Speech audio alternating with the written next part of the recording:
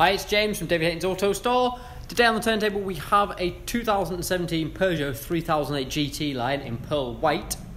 Take you around the front of the car, very, very clean example.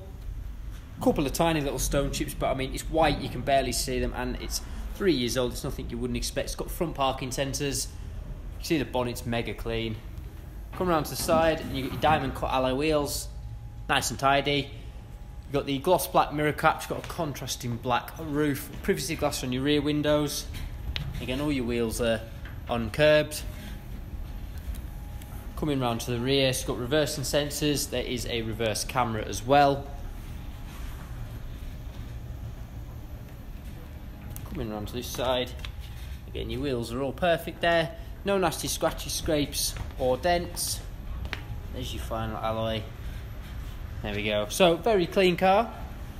If I just let it go around, I'll just quickly show you inside some of the features this has. So I'll just start in the back. So you've got these half leather, half cloth seats, and just like the outside, very, very tidy. Isofix on the outer two. You've got nice fitted floor mats, electric rear windows, electrically adjustable and folding mirrors. Both your front seats in fantastic condition.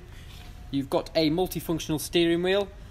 You've got automatic lights, automatic wipers. You've got your Peugeot iCockpit up here.